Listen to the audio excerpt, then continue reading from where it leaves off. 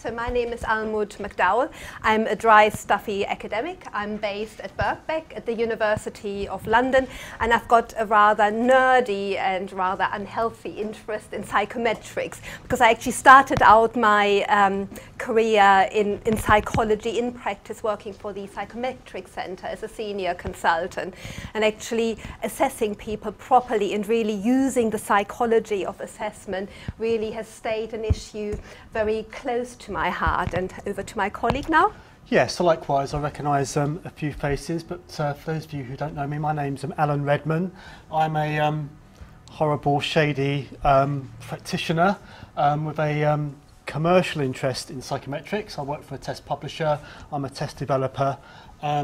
Both um, Alma and myself are occupational testing verifiers, which means we go around different training providers, and looking at their um, assessment materials for their um, test user qualifications. And uh, together, um, we've pulled together um, this, um, well, it's a presentation, but it's an opportunity to discuss um, practice issues and uh, continuing kind of professional development in psychometric testing. Yeah.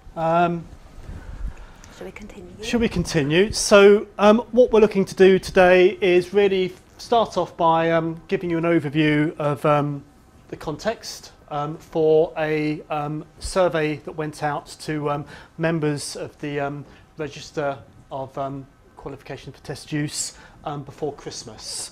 But really what we want to do is, by describing the survey and its results, is engage some discussion of, of the key themes that we're drawing from that, and also to involve some um, panel input as well towards the end. Our distinguished panel members in the audience whom we're going to introduce later. So plenty of opportunity for interaction. Do feel free if you've got any questions. If we descend into academic jargon, it's particularly a reminder for myself. Do put your hand up. Um, do question. Very, very happy to take questions as we go along rather than to leave them to the end. Cool. Okay. So let's start with the um, uh, context. Um, as I mentioned, um, both Alma and I um, kind of have a um, well, um, a professional interest in psychometrics, more from the science end, more from the practice end. We both meet in the middle because you have to dirty yourself with commerce and practice sometimes. They don't pay me enough at Birkbeck, you see, so I have to. Yeah, I'm, I've been doing more science than ever just recently, so I feel quite um, virtuous at the moment. um, but we both work as um, occupational testing verifiers, so we're definitely um, involved day to day in the science and practice of test use.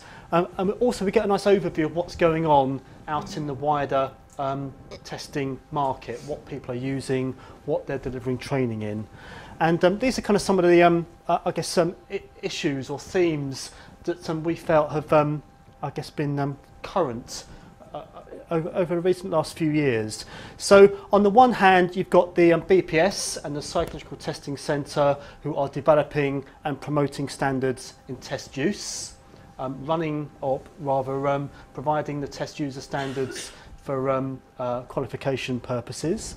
You've got the International Test Commission um, who has a similar, very similar set of test standards, they're very harmonised with the BPS ones, who are trying to establish good test use internationally.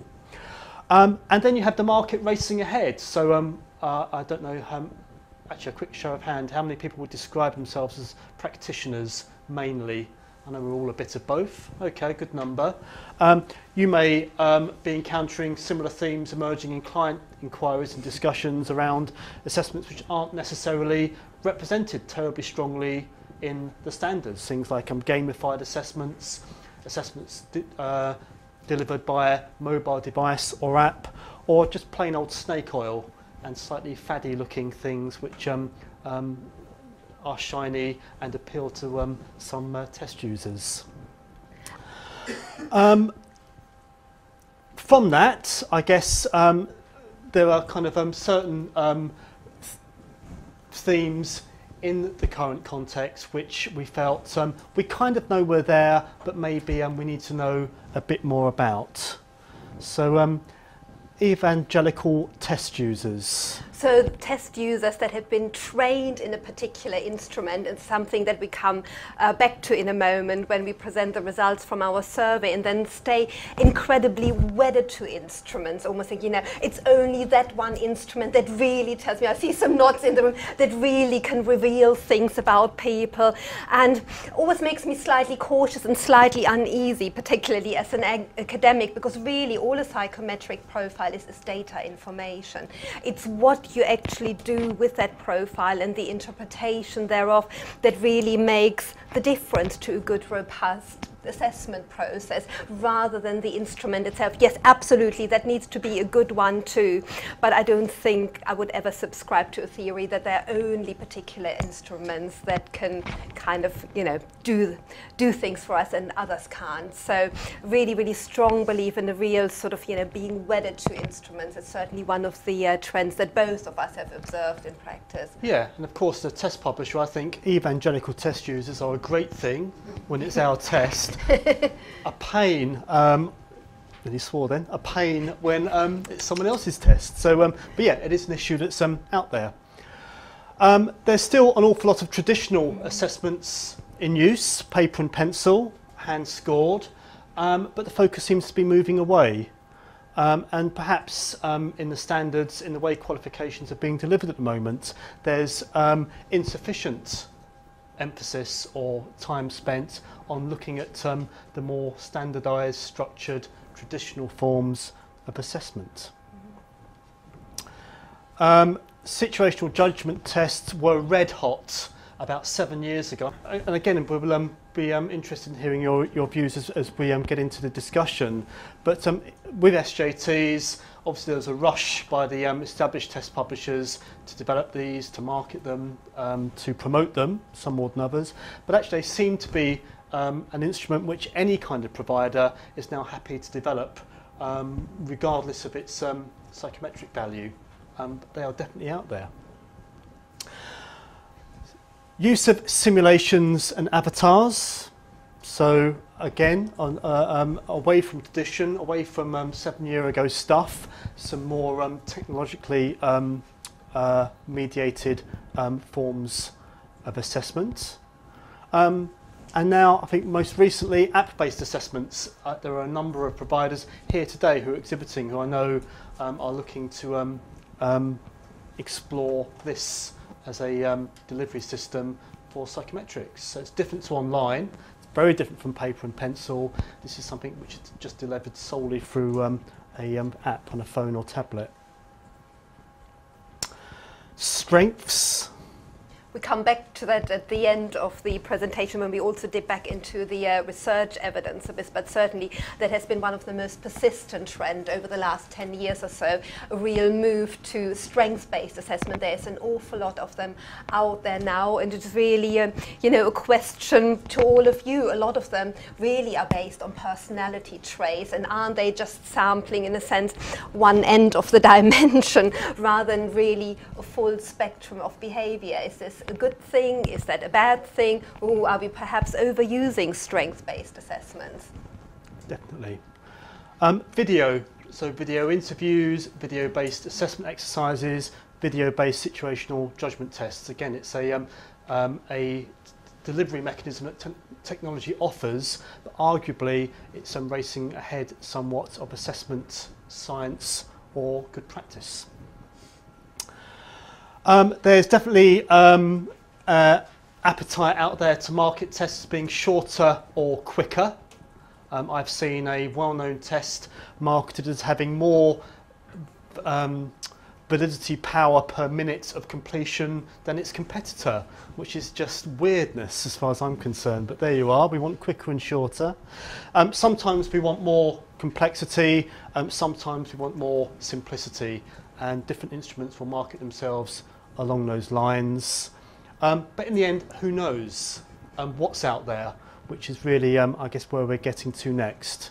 Yeah. Um, I think if you want the full um, current context top line of the bingo card, it's got to be a strengths-based video situational judgment test um, for talent management. If you can get all of those, um, you've definitely got the top line.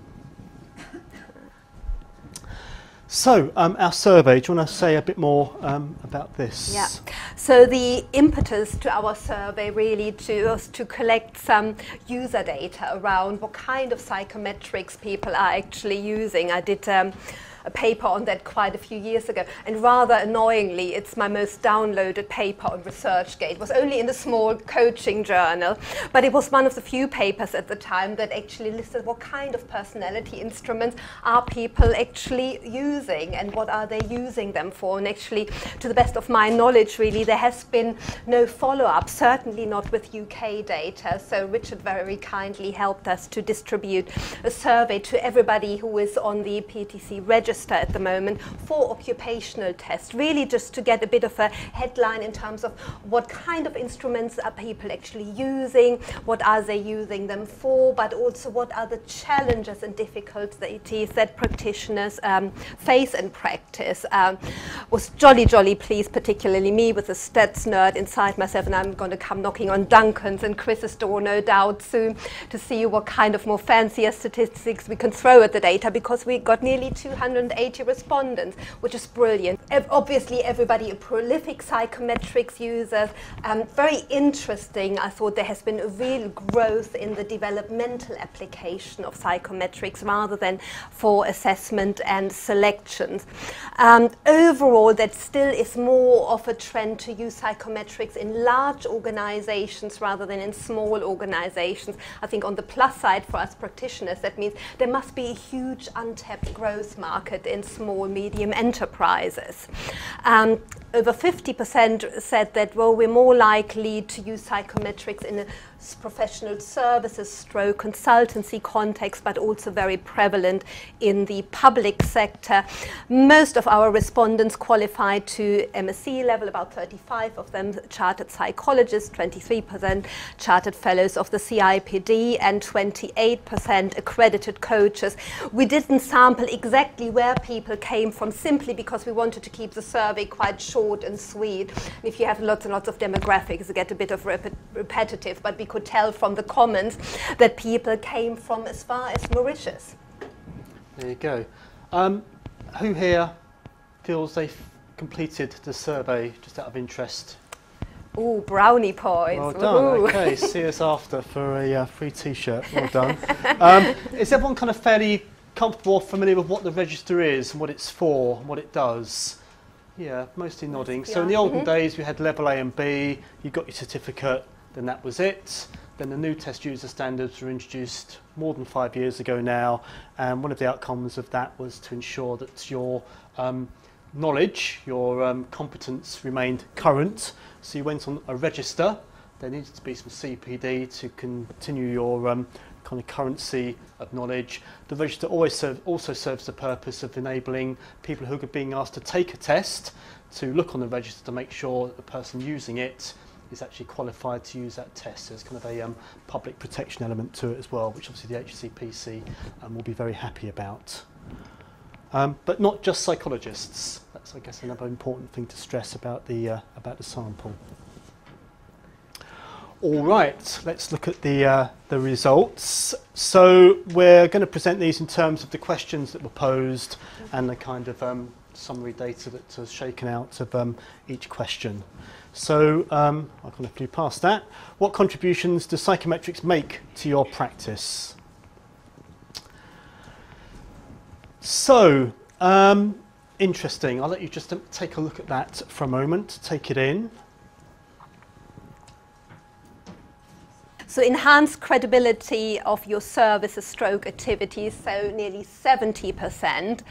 Um, 45% say increased client trust and faith, 64% more robust selection processes, 61%, so it was multiple respondents, uh, responses were allowed where you could say tick any of these that apply.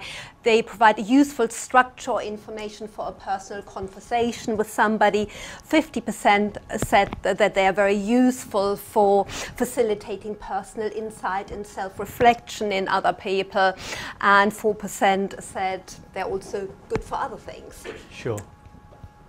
Okay, so not much in it in terms of the three who were that were rated most frequently. Um, but I guess they suggest something around um, the actual explicit purpose, which might be making selection decisions or um, yeah, powering kind of developmental work, but something more implicitly about yeah, it just enhances the um, standing, the credibility of um, your practice, what it is you're doing. Yeah. So, uh, which of the following sources do you regularly do you use regularly to further your professional development? So, this is the question for anyone on the register, because arguably, by being on the register, regardless of all of the um, other good reasons for doing CPD, you should be um, looking at your uh, CPD as a test user. And before we look at the results, I guess here's some um, food for thought. We're not going to um, ask you, but some um, thoughts you might we might invite you to be uh, reflecting on um, about what do you use for CPD? How often do you uh, kind of keep active with your CPD? Um, what um, specific policies do you have for testing? And uh, what could you um, look to the testing centre, the psychological testing centre, for help with in terms of conducting, planning, recording uh, your CPD? In terms of what the survey respondents said, so there was a, a question where we had a slight boo-boo in the online system because it didn't allow multiple responses, which is what we had wanted to happen. But for that question, for some reason, that didn't quite work. So um, in actual fact, I suspect that the frequency should be an awful lot higher because it kind of twisted people's arm and you had to choose either or. But what this is saying is kind of academic research comes as trump. Yes, people actually do read our papers, or at least they say they read our papers. Um, conferences also feature highly, and I guess it's kind of a bit the practitioner academic divide, the different sources of information are relevant to different people. Networking really important, webinars also growing in importance, um, and then practitioner research, uh, case studies that are out there, any specialized user and internet groups, uh, web forums, and then 13% uh, said that they use um, other resources too, such as specialist publications, for instance. So people are engaging in CPD, but generally this is a question now to you um, as an audience. Is there anything that you are missing and that, you, that would be useful to you? Would be really, really interested to hear. So as a practitioner, um, I don't have access to all the academic papers that um, have been published for mm. updates or, you know, the, the, frequently used tests or whatever happens to be. Yeah. So missing out on that element. So whether there's a way that for CPD through the testing centre or, or through the register or something, that those kind of elements could be made available for us to help with the CPD um, might be something that could be thought about. Yeah. Now, of course, it's a well-kept secret that not many people actually are aware of, and I'm always surprised that you do have um, access to the EBSCO database, and you can search papers on there. Point taken, not everything is on there, um, as Alan is now finding out, who is now a member of an academic institution. He was saying earlier, it's a bit like Pandora's box suddenly opening when you've got all that wealth of information just as your fingertips now. Absolutely, I think um, having said that, also um, the way that us academics are being performance managed is changing. And one of the things that comes out of that is that we now have to make all of our publications open access through our institutions. Again, a lot of practitioners don't know that. So if you, but if you know what you're looking for, actually, all of our publications, you should actually, in theory, be able to find open source now, because it's one of the things that we have to comply with as academics as we prepare for the next research excellence framework or whatever it will be called. So access to publications is something that will be useful. So thank you. We heard that loud and clear. Yeah, uh, I mean, this for me is someone who comes from a much more practitioner um, kind of background. You know, I've, I've never really bought that there is a divide. I think it is a continuum, but I think mm. if there's a divide, the fulcrum of that is just knowing where to find this stuff. Yeah. I mean, someone said to me, "Oh, but you've got EBSCO now." My first question was, "Well, what the hell is um, EBSCO?" And I still don't know EBSCO stands for. Um, but equally, yeah, things like that, that. There is open source research out there, and it's kind of a um, condition of, um, of um, research now. You know, how are we supposed to know that? Yeah. Um, I, th I think it is difficult. And I, I really think these, um, this, these two here, CPD for academic research or conferences, is that divide. And I think there are many practitioners like myself who, when completing a CPD, you know, a conference is a really quick, easy way to get that under your belt because nothing else there. Okay, um, so a broader question, what are practitioners actually using and what guides their decisions? We know what the test user standards say should be guiding people's decisions. Um, we kind of know um, as um, occupational testing verifiers what instruments are being trained um, but that's not necessarily the same as what's being used. But actually, one of the drivers for the survey was we know surprisingly little. The Psychological yeah. Testing Centre has never really been able to hold data of what actual practice looks like out in the field. So this was a um, really interesting opportunity to find out um, what people are um, doing once they've been trained. So the first questions we asked were which types of assessment methods do you currently use in your practice and we gave people the opportunity to tick as many um, of the following as are applicable. And um, well, the first thing to say is the um, by far and away the most frequently used form of assessment um, were personality questionnaires. Okay, that's the one that's being used um, the most. Following up, we have um, specific aptitude tests, so numerical, verbal, reasoning tests, and so forth. Um, we have um, application forms structured, but there are more unstructured application forms. CVs are still there, references are still there. Um, game, gamified assessments are creeping in. Drug tests, nearly as many as gamified assessments, probably the same users. CV still nearly 60%, so the traditional triad is actually still well and truly alive and kicking. So we're all pretty familiar, I think, because an awful lot of um, um, training courses feature it, um, but the Hunter and Schmidt validity league table, which was that meta-analysis, it's always the meta-analysis everyone can name. I can't name another one, but I can name that one.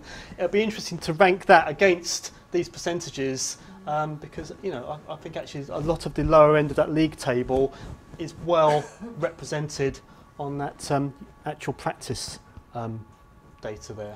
Absolutely, and that hopefully will be a, a, publication in preparation at some point to actually juxtapose some of the popularity data with actual validity data from the literature, because for some of these instruments there will be quite a divergence in terms of what they can predict and what they're actually telling you, such as CVs. and um, yeah. I was slightly astonished by it. I know it's only 1.4%, but none of the above. So there are obviously some assessments out there um, we haven't heard of like data analytics when people are mining psi data not using tool, I think they're on the, on the up now. Yeah, so that was a question about um, big data, data analytics, talent analytics as they're sometimes called, where rather than assess people at all, you look at some big banks of data, which you're right, are being marketed, are being um, talked about um, in the market. We don't regard that as assessment, which is why it's not on here. Um, I don't know. Do people feel that's got any um, movement in the market beyond what you hear about it? Anyone used it or heard, met someone using it? I haven't.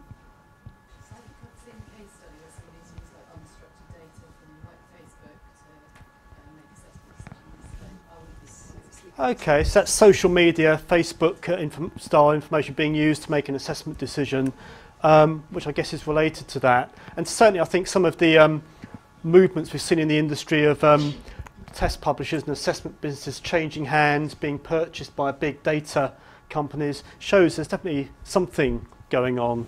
Um, but perhaps, um, well, it's not an assessment in the um, classical sense, but uh, yeah, maybe it's something we all need to be keeping a weather eye on.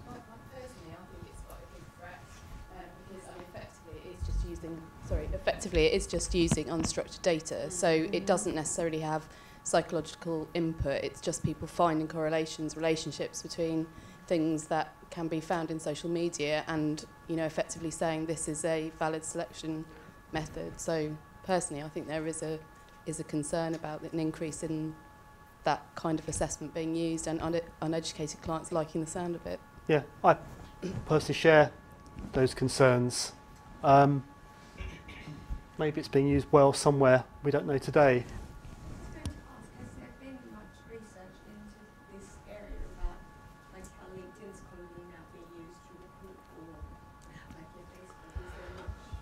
Some.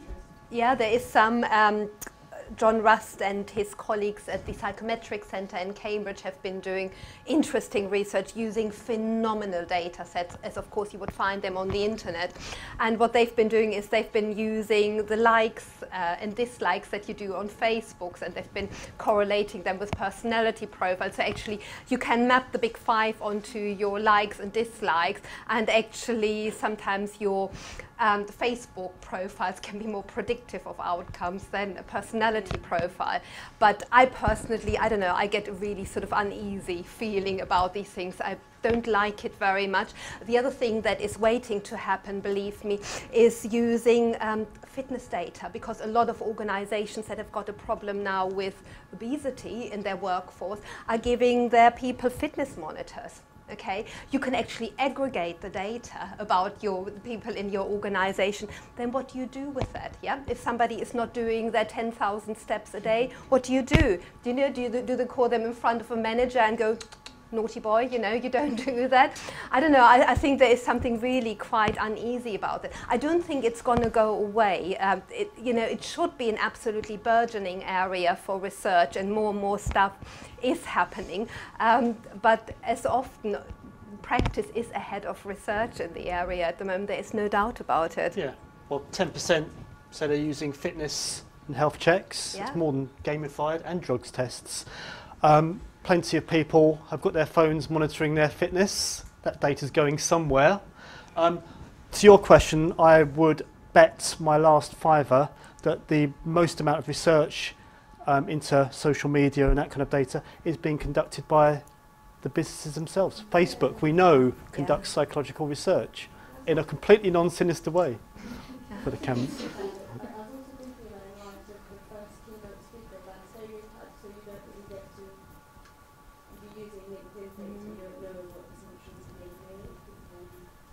Yeah.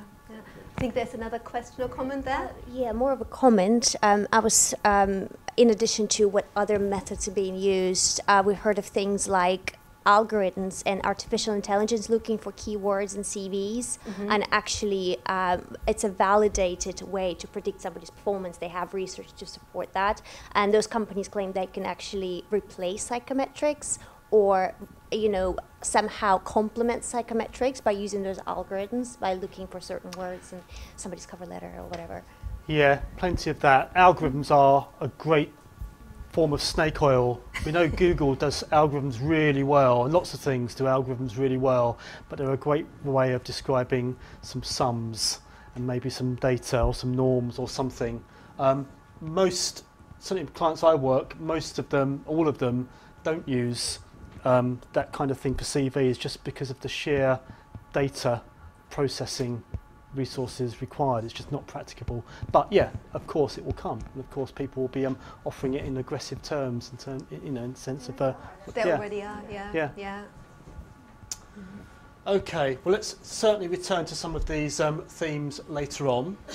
Um, we wanted to know what people are using psychometric tests for once they're out there in the field.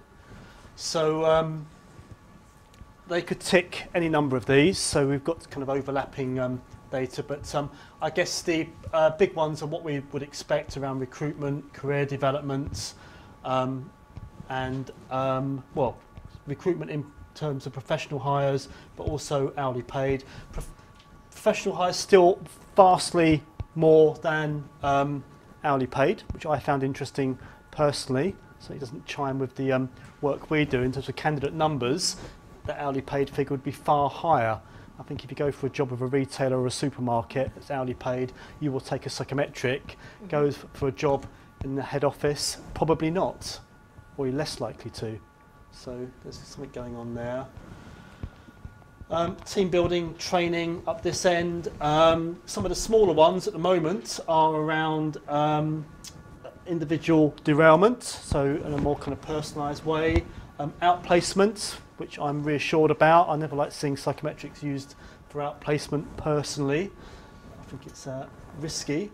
Um, of course, research and workforce planning and data analytics actually was a um, was an entry here. I think what is interesting about this slide is the real growth here around the developmental use of psychometrics, so using it for um, career counseling, for coaching, for leadership development. I think that probably has been the biggest shift in psychometrics over the last 15 years or so, that real growth in the developmental arena, uh, while still, of course, strong use in the kind of assessment and selection recruitment, more traditional application, um, which in a lot of ways uh, is a positive thing, but also I think there's a real piece here around actually the skills that you need to actually use psychometrics in two different ways. I personally think they need two quite different skill sets, and does everybody have them? So, Mhm. yeah. Okay. Okay. Um, we asked what guides your decision making when you're selecting or choosing um, psychometrics. We know what the test user standards say in terms of what you should be basing decisions upon. And um, in actual fact, the one that comes out by far the highest is this one, nearly 81%, your own experience or familiarity. So it looks like people use what they've used before. Yeah, because of course, you know, in our training, you know, we've been brought up to kind of take test manuals to bed with us and read them and study them and refer to academic literature. But actually, what is happening in practice is, yes, we get trained in certain instruments and become very familiar with them. And then, in the sense that fam- familiarity guides our decision making. Um, interesting stuff, I thought. Uh, heartening to see that again, academic literature features highly. But then, of course, as a cynical academic part of me, then also question is that actually, do we just say this? Or do we really mean it? Well, as a test publisher, I look at um, information in the test manual, 51%. I know 51% of users aren't buying or downloading a test manual. So I think there's a certain amount of, um, we know what Yeah. good practice should look like through the standards, but maybe isn't actually being necessarily reflected in actions. That would be interesting. That would be a piece of research, wouldn't it? How much usage do the test materials actually get? Yeah. Because so many of the test publishers now make them available online rather than giving you a hard copy. So there's no reason why you couldn't monitor user statistics. But ooh, is that Big Brother again? Another question. Another really high one at 47% is a personal recommendation from another test user. So arguably, one of the key moments you might not use a test that you're familiar with is when someone you know or like or trust tells you about another test that you could use instead.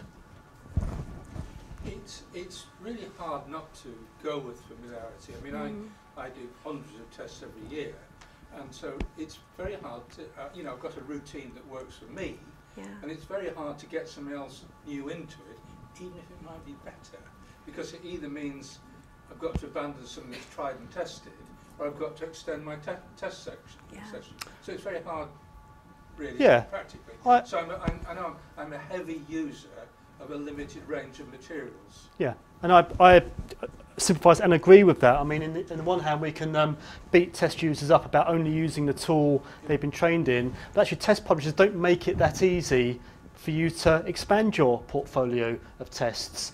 Um, the test user standards rightly recognise that you do need to acquire some additional competence to use a different personality questionnaire, for example. But I guess the um, test publishing market has made certain decisions about what that's likely to cost you or what the process is going to be in order to acquire that competence. So it is quite tough. Okay. So, in your view, which are the most important features of psychometric assessments? Again, we know what the test user standards um, encourage test users to focus on. And um, these are reflected in the results, so both reliability and validity, both 92% of people said yes, reliability and validity. But also notably, face validity with test takers features very highly, 70%. So that's another big um, decision factor here. Kind of, it, if it doesn't look and feel right, then actually you're much less likely to use any instrument. Um, appropriate norms are they available? Again, really, really important to people. Um, perhaps. Um, surprised me slightly, I guess also because I do quite a bit of work with the public sector, that it was far, far lesser importance to people whether or not uh, adverse impact has been documented. Um, surprised me, but this is what people were telling us. Yeah, and arguably, um, adverse impact has important consequences for, validity anyway. Um, I wonder the degree to which we all know reliability and validity are important, but once the test publisher has made certain assurances, yes, of course it's reliable and valid, that those are ticked off and no longer Mm-hmm. are worried about or scrutinised at all. Question, do you think this results have something to do with the kind of people that you've asked? Because you've asked people obviously registered Absolutely, totally, yeah. A bunch of people actually not registered were using psychometric tests every day in large organizations, medium and small, who may Yeah. not know that much about reliability and validity and wouldn't answer it Yeah. Oh, I mean, it's a pre-selected sample. There is no doubt about it. Totally, yes, yes. Because th- this is all people on the register who've been through training. Um, you know, it, it didn't go to people who are who are not on the register. Would be a really interesting piece of follow-up research, absolutely. But no, totally. You know, in, in a sense, this is an or should be an informed sample that is speaking to us here. Yeah. And in one sense, it's encouraging that the um, message is getting through. It might have taken 20 years of um, test user standards, but we've got there people who have gone to the um, effort to follow good practice and have got themselves on the register, know what the important things are. Yeah. Of course, there's always the gap between knowing and, um, and doing. Yes. How do you see this interacting with that transition? So, will validity, and just in your opinion, I suppose, how do you see the importance of validity or reliability remaining with the simplification? So as psychometrics become more simple, become shorter and quicker, how's that going to interact with, yeah, the kind of what people, what the survey results are saying are important, the psychometric qualities of the instrument. Well, if you do your stats right, and if you use sophisticated measurement techniques, actually, then there is no reason why you have to sacrifice uh, reliability, for instance, even with a shorter instrument. To a certain degree, yes, because you can't ever sample as big a spectrum of behavior, let's say, as you would do in a personality questionnaire with more items. So it shouldn't necessarily have to be an inverse relationship, but I think where there is a relationship is kind of more from from the user end, is that need for quick fixes. You see, you know, something that works that you know you can buy for ten pounds. And oh, you don't really need one of those annoying psychologists. You know, you can kind of do it all online. You get your output and that's that then. So I- I think, yes, I mean, that is something that is not going to go away, uh, quite the contrary, because it, it's, so, it's so easy to make things look good. And I think that is one thing that we will come back to in a moment when we present the qualitative results to you around really what are the, the concerns that all of you sharing. And that featured really highly in there. So we'll come back to that point in a moment. Yeah, and, uh, but there are certainly limits, and of course we know statistically and from the user standards, there are limits to how short you can get before the psychometric qualities uh, will suffer. You know, a, a 10 question interview, it's not great, but it's better than a two question interview. It gathers more um, information. I'd, I'd be interested in your, anybody's comments here. Has anybody noticed a difference in performance on ability tests done online and done on paper? I mean, it just seems to me uh, some people I've seen have scored very, very lowly on, online, and you do the thing on paper and you score significantly higher. Has anybody else noticed that? I've actually noticed the. ability test. Yeah, I've, I've, I've, and again, it's just anecdotal. Time. Yes, this is just Yeah. anecdotal. Um, but with our um, tests, we obviously we know on the science of it, they're equivalent. We're getting equivalent um, mean scores from both um, testing formats. But on a more individual basis, we're certainly finding with graduates, for example, who are a really widely tested um, uh, population, um, they don't seem anecdotally to do quite as well in standardised paper and paper, paper and pencil conditions. I, I think they just find it more nerve-wracking than maybe graduates did 10, 20 years ago when it was a more um, frequent experience. They, they seem to be much more um, comfortable with the online testing format. It's what they know. So I think there's that creeping in. But actually on sort of the hard science side of it, we don't see differences in test scores across the two formats. But Yeah. I'm interested in, um, that's just my anecdotal stuff. I assume there'd be two different norm groups, one for the standard paper stuff and different norm groups for the. They're definitely norm groups, but I guess um, what we're interested in is um, the measure of true ability we're getting equivalent in both testing conditions. It's really down to the um, test developer to demonstrate there isn't. That doesn't. That the means of delivery for the test doesn't matter. It doesn't actually impact on scores. But I think on a case by case basis, you can see differences. Yeah. You know, with, with different candidates. And of course, for some tests, the two versions are different. So, a well known critical reasoning test that I sometimes use in my own practice, the online version, is quite different to the pen and paper version. And I think that the online version is harder for that particular test. But it is generally because the two tests are slightly different, they're different norms, and you need to know that because it has um, a bearing on interpretation. You know, you would be comparing apples and pears if you use them interchangeably. In that particular instance, you just couldn't because they're slightly different tests. I- I, think you, I agree with that. I think you'll get see a bigger difference if you're using an online test which is adaptive and Yeah. a paper and pencil which is more traditional because adaptive testing is I don't know, you know, for any of us who feel in will know, a very different experience. Very I personally find it quite mm. stressful. Every item is timed. Yeah. Um, the time limits are very short. You never feel like you're doing that well because each question's being selected on your previous answer. It's stretching your ability.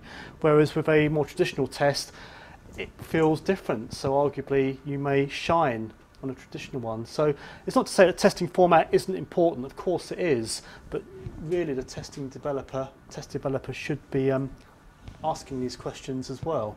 Yeah. Did you find any difference in populations? There's certain uh, tests are used more executive level, some are used more at high potentials, some used more for millennials.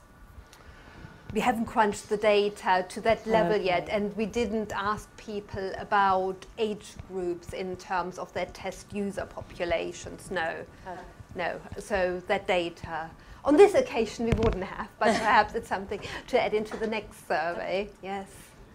Uh, but no, I, I would think that you know if, if you would cluster the data, then I think you would find um, usage patterns because some of the personality questionnaires uh, are quite adaptable. Some of them actually aren't that great for graduate populations. Some of the personality questionnaires actually really assume in the questions that you've got work experience, if not managerial experience. And I've learned the hard way it's actually jolly unfair to give them to graduates because they just can't embed the items in the same way. Um, so I'm sure there would be differences, but it wasn't really the objective of this survey to tease that out. Yeah. No. Yeah. Excellent. Okay. Right. Shall we move on? Yeah, well, we take, took a look at the um, qualitative data. So these Yeah. are the comments people were in, in, invited to um, add to their um, ratings to, uh, I guess, identify further themes um, which have implications for uh, practice. Yeah. So we asked people basically what are the big challenges that you are facing in your day-to-day psychometric practice, and I uh, did a very robust analysis yesterday afternoon because we only got the data in just before Christmas, and actually I did take some time off. I'm sorry, um, but um, I, I did a brief content analysis, really kind of to cluster out actually what are the concerns that you're facing, and it is uh, really really clear that there are some really broad trends in there. So the first one is around untrained users and working with other untrained users of psychometrics. So one of the key challenges that people face is actually you yourself as a chartered psychologist or whatever, you're registered trust user, you really set up a process right, you conduct robust assessments, but then others really, really misinterpret the results, either don't utilize the information that you actually glean from that assessment process or completely distort the results in the way that they are using them. Um, getting line managers involved and trained came out as a really big challenge as well. If you're the only one in an organization who's got the test user knowledge and who's got the psychometric expertise, came out of the data that it is really, really hard to make a robust process happen if not everybody else is also involved. And there's a lot of cynicism still around psychometrics, a lot of, oh, it's just about putting people in boxes and so on and so forth. Forth, um, and a real lack of understanding of what the results mean. And we put a question mark there because, again, there was a comment that came um, out of quite a few of the challenges actually are the test user qualifications enough? Because remember it's a qualification that is open to everybody. My years as a trainer I've you know I've trained professors in psychology I've trained HR assistants who in a sense don't have a psychology degree. They, they start off from very very different starting points yet it's the same five day course for for everybody. And in a sense training people to that level is that really enough to enable somebody to um, practice confidently and isn't a little knowledge a dangerous thing. And we've got a quote for you. Yeah, so this is um, a direct um, comment. So the big issue is test users making informed decisions about when to use each product. Webinars and case study materials only go so far to support user judgment. A little knowledge could be a dangerous thing in field settings. Um, you know, it's an interesting thing because on the one hand, you know, I'm a great believer that the test user qualifications are such a good thing because, I don't know, are any of you operating internationally? Could we just have a show of hands? Yeah, so some of you, I guess, will know then that it, you know there are countries where there is no qualification. Kind of, you know, it's a wide open field in a sense. Almost anybody can use or buy tests. You still see an awful lot of photocopied material. I just came across it in my own practice not so long ago. It's like. Going to report you to the test publishers. In the end, I didn't. uh, but you know, it's still happening, and you know, having some sort of baseline level is a really, really good thing. But uh, it can perhaps also pe- allow people into a false sense of security that they do know everything, which is why I think it's so important to have these kind of sessions where we can share best practice and also share some of the concerns that we might be encountering in our practice.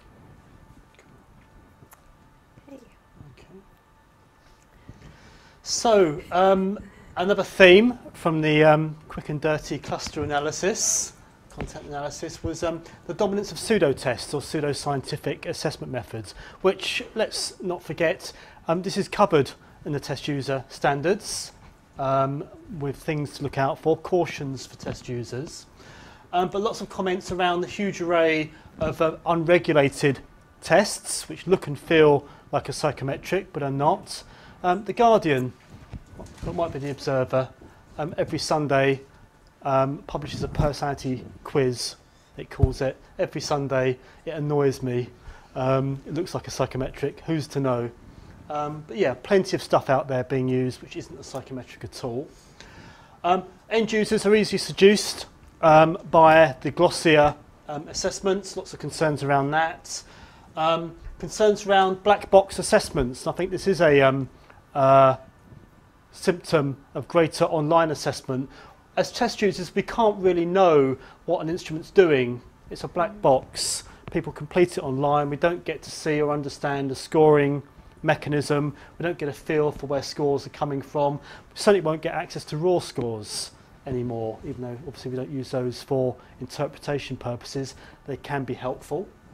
Um, the complexity, again, that technology invites of the kind of models and scoring methods that can be used to generate results exclude the user, but perhaps give a false sense of security where it's a more pseudo-scientific um, assessment. And in the end, it's a sexy output. It's a glossy profile report which can sell the instrument regardless of its psychometric qualities. Um, if it looks good, what you're getting in your hand, it must be a great assessment. And there are plenty of um, non um, psychometric providers who can give you a great output, but maybe don't have the expertise to um, produce a good assessment. Yeah. And yeah, a, a, a kind of um, commonly voiced concern was how can we counteract this? What can we do as test users to um, um, do anything about this? So there was another juicy quote. Um, so we got, um, we, start the four letter words. The existence of absolute, mhm, like name of a test and mhm, name of a test, like these shouldn't be registered with the PTC as it discredits the register. Psychometric test use shouldn't be allowed unless people are qualified. And, and, you know, the big question also, should some tests actually be called a psychometric test? And there was um, another comment also saying that actually, you know, many expert test users aren't necessarily chartered psychologists, but at the moment, the training, like the two of us deliver, you have to be a chartered psychologist to do that. But actually also conversely, there are an awful lot of very good uh, people out there who are using tests, but of course who might not be chartered. So in the in a sense, you know, what, what is the hallmark actually for a good test user and for a good test? And it's become harder to, in a sense, differentiate all of that. And we were debating that before we came here, you know, as much as I like online assessment, because for somebody like me who scores as low on conscientiousness, hence scoring a test is not my most uh, pleasurable thing to do. So to be able to score everything online is a fantastic thing. But I'm also very, very mindful that that has resulted in a certain skill loss because I have to hold up my hand and say, actually, I'm using some tests where I don't really know anymore how they are scored. And of course, it also has meant, or the online assessment, that all the intellectual property now is with the test publishers. Because a while ago we were using a particular ability test and we tried to get the raw data from the test publishers for a validation study. They just would not release it at item level. They just would not, you know, it's our intellectual property, blah, blah, blah. So of course we couldn't really do an internal validation study. And actually that is not a good thing because if we would have had a pen and paper version, we would have had the raw scores, which is what we wanted. So um, this is where we are at the moment. Yes. Uh, I think black box assessment is a concern. Mm. Um, it allows um, potentially pseudo-scientific providers to hide behind algorithms. Don't worry about all of that psychometric stuff. We've got powerful algorithms. Um, we see instruments where the provider forbids their use in research and certainly published research. They don't want um, to hear bad news about the performance of those instruments. So it kind of seems to encourage a, um, I don't know, a lack of transparency yeah. perhaps in uh, the way we use tests.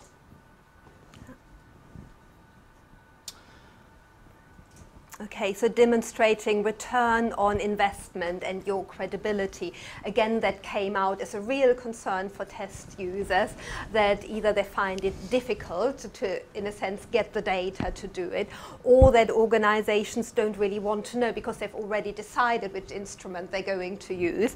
In a sense, they don't really want to put the time and the effort in the resource into perhaps doing an internal validation study. So often practitioners are faced with, well, why why can't we do what we've always done, an unstructured interview, uh, God forbid? Um, how can we compete with pile them high consultancy approaches where somebody comes in, is so seductive, says, will cost you 10 pounds per assessment, you know, uh, great return on your investment. You know, you don't need all those psychologists and registered test users because we can do it much cheaper for you and much more efficiently. And if people in organizations really don't know about the robustness of psychological assessment in sense, you know, where do you find the ammunition to counteract some of those fears and the seductiveness of some of the um, other assessments? And in a sense, you know, how do you demonstrate also what the add-on value is of a psychological assessment where you don't just rely on the output that you know the computerized program spits out. You actually put it together in the context of other assessment information, which of course our test user qualifications really should have trained us to do. That you don't ever over rely on the results of a psychometric alone, but you put it into context. Yeah, and the kinds of concerns that were reported in the um, open-ended comments were um, the sound use of tests is adversely impacted by our senior decision makers wanting certain tools used and then finding a practitioner willing to deliver rather than responding to advice from a qualified consultant. Um, one of the first things we do when we see a tender uh, RFQ being um, published is quickly review it to make sure they aren't clearly looking for a specific instrument that, that this whole procurement process isn't just a smokescreen to get the instrument they want. And you can see the questions in the tender if it's been written for a particular tool. It annoys me no end unless it's my tool. In which case, it's of course perfectly fine. Of yeah. course, why wouldn't you? Excellent. Okay, and finally, um, around psychometric qualities. These are some of the concerns that um, came through um, in the um, open-ended comments. Um, so are test publishers honest enough um, about reliability and validity data? Um, are test users, though, conversely, familiar with the new model of validity that the International Test Commission favours, the, the, the test standards now encourage. That's where we, as test users, are encouraged not to consider validity as a property of the test, but a property of the use of that test. So we as test users should, are responsible for ensuring that a test is valid and for checking it out, not just relying on what's there in test manuals. But in the end, yeah, test publishers arguably could be a bit more helpful. Um, concerns around availability and suitability of norms, again, harder to ascertain a black box assessment what's being used. Um, hard, hard to obtain info at a glance, but equally information overload, where we can find information it's being presented in a way which is um, not particularly um, helpful. And there was one of the other quotes that we pulled out. I thought it was an interesting one, and perhaps one of the um, debates here for which I don't have an easy answer either. In a sense, you know, how can you actually get round of, around some of the low validities and reliabilities of self-report data? Because yes, they uh, predict performance to about 30%, but actually 30% isn't very much. There's still 70% that is totally unexplained. In a sense, can we find cleverer assessments, but really, ooh, do we want to go down the big data route? Is that a good thing? And is that an alternative? Um, I don't yet really have an answer to that. Of course, there is a an awful lot of neuropsychological research going on at the moment that is looking much more at brain activity and really totally moving away from trait-based approaches. But yeah, on the one hand, I think, gosh, you know, that's really interesting and really cool and, you know, really, really fancy MRI studies. But then I was thinking, actually, at the end of the day, in organizations, you need people who can lead other people, who can talk, who can do stuff that you need to be able to be competent in in a business setting and actually those kinds of assessment will they ever facilitate the kind of developmental discussions that we really need in practice and I think mm, yeah perhaps not uh, but something to think about for sure Okay. Um, more concerns around fads and fashions. Um, we're in there around snake oil assessments and pseudoscience. Um, and what academic research is available to, to point us in a particular um, direction. So recent specific um, terms which have emerged, I'm not saying any of these are fads, but they are um, kind of um, contemporary. Obviously personality assessment is the most widely used one as reported by the survey, but video-based assessment is becoming more talked about and asked for by clients. Gamification, only 5% of um, registered test users said they use it, but you hear an awful lot about it. Um, flash mob assessments, I throw in because I've only heard it once, but I was so charmed by the notion, um, I've stuck with it. I'll find someone one day using it. Um, but mobile device testing already happens through online assessment, but it's going to get app-based, which is another kettle of fish entirely. Strengths-based assessments, we're going to um, spend some time looking at, and also the gaps in our understanding. yeah So let's have a look at personality first of all. Um, we can't use one of these, which is my um, snake oil detector, um, to try and decide um, um, yeah, whether an instrument works. We do need hard science or evidence. So um, for personality, that might be some research around particular models or theories. There is a body of research already there. So it's interesting, isn't it, that one of the most prevalent personality questionnaires that we still use isn't built on what we now know is the most robust model of personality, the big five. And yes, there's some stuff about the big three, or indeed, is it just one factor of personality? But by far and large, I think that's one of the things that IO psychology has given to humanity. We kind of know that the big five work. Now, of course, we don't know why they work because remember, it's a psychometric model of personality, so it's really good at describing, but it's not so hot at the why question. Um, by the way, if anybody is interested, and I generally mean this as a personal development thing, I recently wrote a chapter on a new handbook in coaching on using psychological assessments in coaching. So if anybody wants my author copy of the chapter, it will be kind of the unedited word version because I can't give out the PDF, then I'd be more than happy to share that. But what I'm talking about in that chapter is a really, really good paper by Sarah Hampson. It's a chapter in the annual review of psychology around personality. And any of you who are interested in personality, would just point you to that paper. It's a really, really good one because it kind of tries to get behind the big five and actually why are we behaving in a way that we do. So what she's arguing that we need to combine the big five with how we react to things, our emotionality, how impulsive we are, but also looking at the social cognitive context and the environment that we operate on. So really, really helpful chapter. Of course, there are alternative models of personality.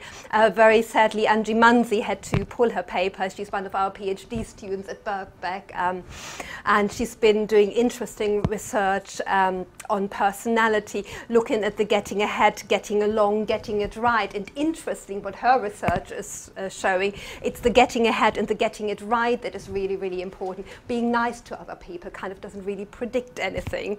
Um, but I just thought I'd throw that in here.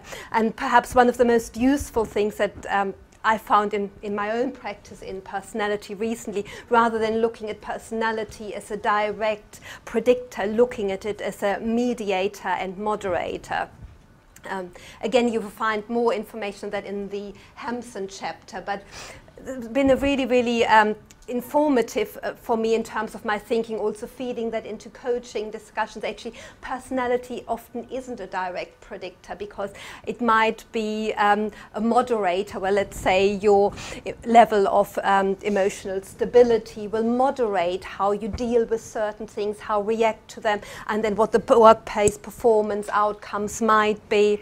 Um, and indeed, there might be very many mediators because personality also depends on the environment. You know, sometimes you have a certain uh, predisposition to act in a certain way, but actually the environment might not allow you to act that out. And conversely, you can find really good compensatory mechanisms for yourself. You know, even if something doesn't come naturally to you, you can find your own strategies. So again, you know, kind of big recommendation from today. Go away and read this Hampson paper. There's a wealth of information then. Certainly I found it really, really informative for my own practice. Shall we move on? Strength-based assessment, ah, this is one that will get Alan and me going, that is probably kind of, you know, it's been the latest biggest thing, hasn't it? You know, we had 360, then we did situational judgment test, and over the last kind of seven, ten years or so, it's been strength-based assessments. And I'm not saying that they don't have their merits, because if you look at the academic literature, I guess you will be familiar with the stuff on self-core evaluations and Which is more at the organizational level. But broadly spoken, they both say the same thing that if you have a positive self concept, so if you like yourself and if you behave in a way that you kind of shows that you like yourself, it's going to be linked to better performance outcomes, to better well-being. Kind of intuitively makes sense, doesn't it? Because if you feel jolly miserable, you're probably not going to be performing um, at your optimum. So there has been a huge and growing array of strengths-based assessments. But I must say, again, this is another area where I feel slightly uneasy because A, um, knowing your strength doesn't mean that you will actually use them in practice. And I think there's too little research on strength use. I think um, there's also perhaps a call for caution in terms of when and how we are using them for, because in an assessment situation, so I do quite a bit of my research, for instance, with the Ministry of Defense, sometimes together with Duncan, sometimes together with other researchers. Actually, in a defense context, you couldn't ever just look at people's strengths because you also absolutely have to know what their potential derailers might be and what the kind of situations might be in which they would struggle. And indeed, you know, aren't they kind of just trait-based assessment which just give you one end of the spectrum but not the other one? So actually, is it really a good idea to, for instance, use strengths-based um, assessments for recruitment decisions or strengths-based appraisals is my other pet hate at the moment, to have this positive development uh, discussions. But actually, you know, in my work with the police, for instance, if a police officer isn't doing their job and they're neglecting half of their duties, strengths-based uh, development discussion, I don't think would quite do the trick. So, would be interested to hear your thoughts too. Okay. Um, and then there are gaps um, in our um, understanding. So, well, I'm going to let you talk to the first point 'cause it's your reference. So the uh, the first one is kind of you know it's the the old-fashioned criterion problem. Actually, what do we actually use to measure workplace performance? What are our measures? Can we actually get hold of them? Have any of you actually ever tried to do a validation study and get some measures of work performance? Okay, some of you have. Was it easy, painless? No, it isn't, is it? You know, it is really, really hard to get hold of organizational data. You know, it's often it's recorded all over the place, so by the time you've actually assembled it, or sometimes, you know, they use subjective rating scales, and then you find out once you've got the data and you crunch it, oh, that really didn't work because they all got the same rating, and so on and so forth. It's really, really, really hard. Um, but we did a meta-analysis on it um, a couple of years ago. And actually, what that data showed was actually the more specific you can be about workplace performance, and in, in a sense, understanding your criterion, first of all. What is it that you're trying to predict? Starting off with that, and then having as finely grained an understanding as possible, and then mapping any predictors, so any psychometrics, for instance, against that. The more um, finely grained the measures, actually the higher the validity coefficients. But actually it's a jolly hard thing to do in practice as I also had to learn um, the hard way. And also, I don't know if any of you do psychometric profiling, particularly here for sort of executive type assessments. So quite a few of you do. There is very, very little research evidence out there uh, around actually what is the add-on value of such psychometric profiling. Actually, I was talking to um, Clive Fletcher the other day, and he's got a paper in publication at the moment um, in the International Journal of Selection and Assessment. So I hope that will be published shortly because what their paper is showing that actually it does bump up validities. But then, of course, there's also conversely looking at assessment center research. Do we actually need wash ups? Are we not better off just using the scores as they are and entering them into a regression equation?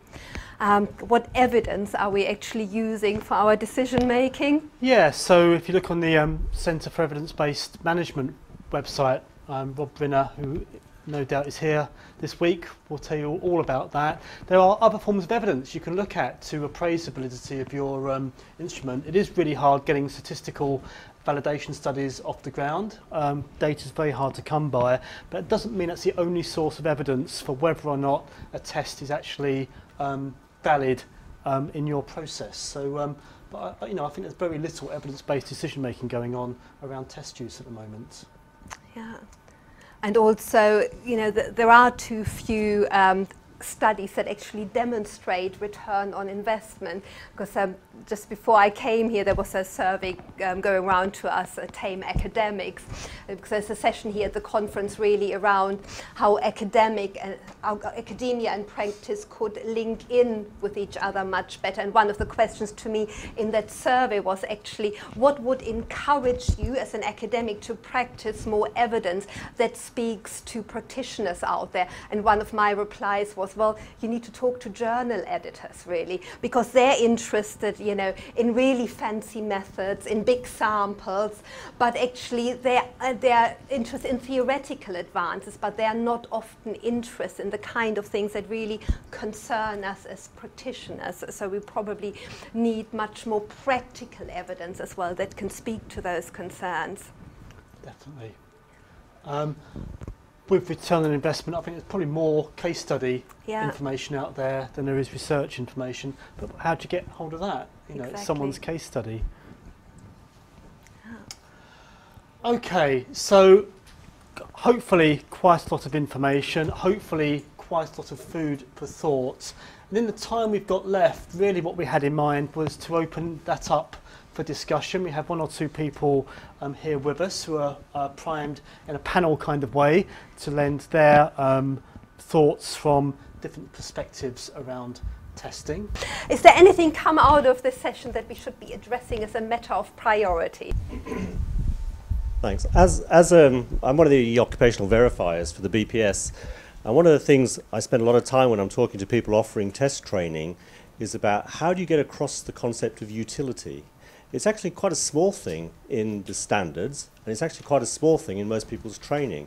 It's usually a thing that they put on a little equation at the end and say, well, here we are, we're going to do a little bit on, a, on utility now. Here is the equation. Um, that's it. And what I try to get trainers to do is to try and incorporate that concept of utility right through the testing process, especially into the feedback process. When people are writing assessment reports, how often do they actually spend time writing for the client, so the person who is paying the bill, and tell them exactly what the benefit of using that test was? So if you get a, an engineer who's putting a new process into a factory, he will sit down and talk to you about what the productivity improvement of this new machine will be. It'll cost you a million quid, you'll get re- repayment on that million quid over four years, uh, and, and then you'll be quids in. We don't do that in testing. We have a theory for it, but it just doesn't happen. So I think one of the ways around doing that is to think about who buys the test, and it's not people like us, it's not really people like the HR department who buy the test, it's actually the, the line managers who buy the test in the end. They're the ones that say, well, what, you know, why would I want to buy it? And I think the answers we give them are not really strong enough in terms of saying there's a good reason why.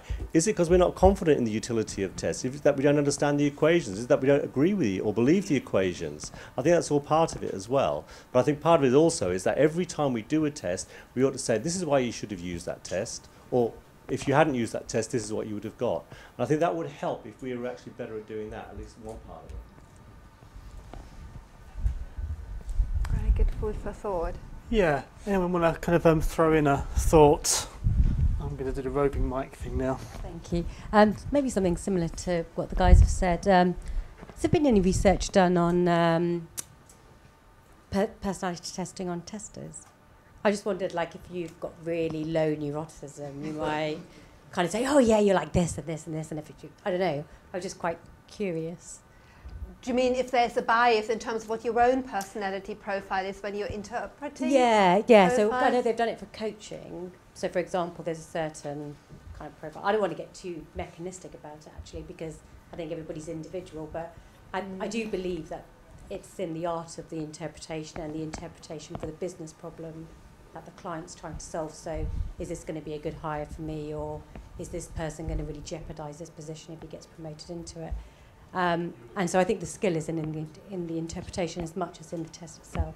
So I just I was just curious, I guess, was whether there'd been any research into Well, there is profiling test users. Well, there is some research on similar to me bias. So we tend to like personality profiles better that are more like us. And I think that is something that certainly I'm very um, conscious of, particularly when I'm doing very individual assessments, that, you know, that isn't creeping into anything.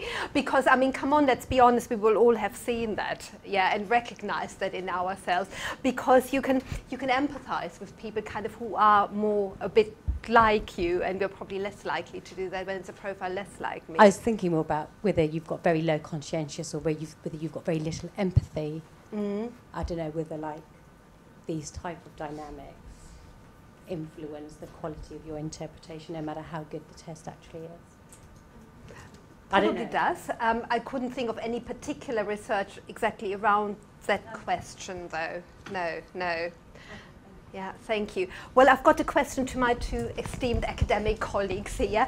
Um, I don't know whether Chris, Duncan, you want to answer to that. Is there anything that you feel uh, we could have covered and might have covered or should perhaps cover in the next session, which I think, which you think are really important questions to address around the use of psychometrics and assessment? It seems to me you, you've covered an awful lot, so it, I, it's difficult for me to say that there's some major area that you've you've left out. Um, What, what uh, point I think it would be worthwhile making is that there's been quite a lot of talk in the room about tests being uh, valid or uh, or reliable. Uh, uh, yeah. By implication, not valid and not reliable. And I think there's a real danger in that. It's a bit like talking about methods of transport as either being safe or dangerous.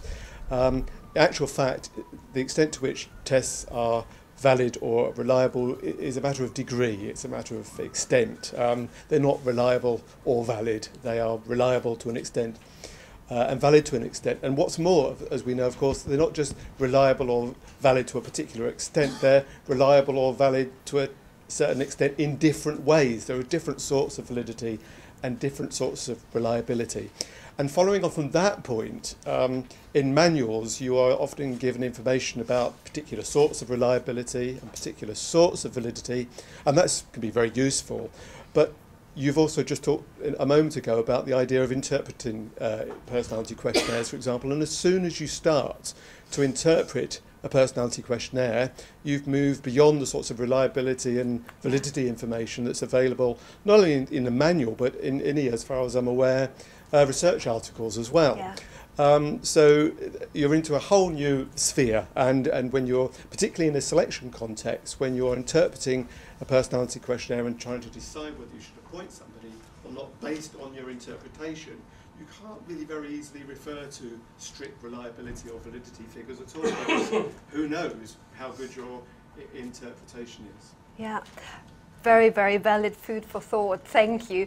And a very, very welcome reminder that all these coefficients that we see in manuals, they're not absolutes. You know, they in themselves are estimations. So a lot of the information that we are basing our decisions on are estimations rather than absolute hard facts. So thank you, Chris. That was a really timely reminder. Duncan?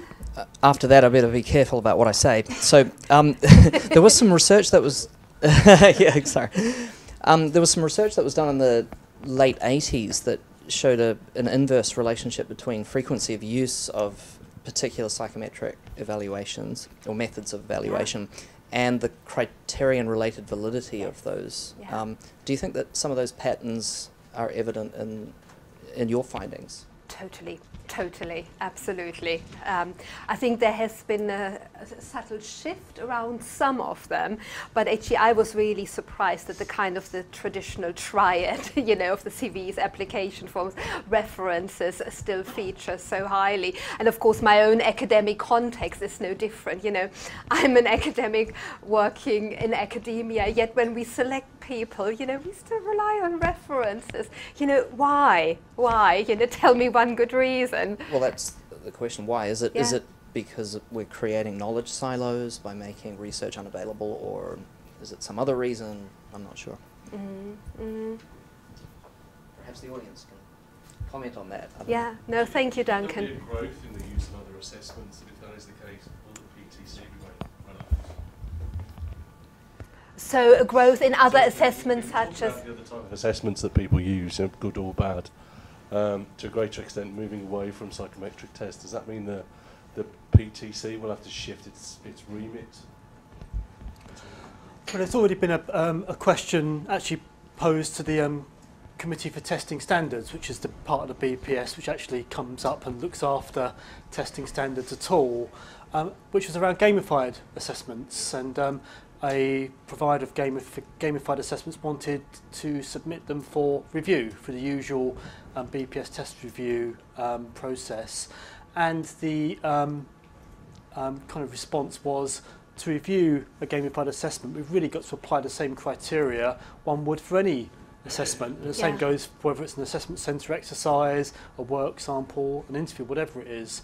So I think the um, um, scope for the PTC remains as um, open as we as the PTC chooses. At the moment, assessment centre standards are outside of the Committee for Testing Standards, but then it's, it's for tests, it's for assessments which aren't quite assessment centres.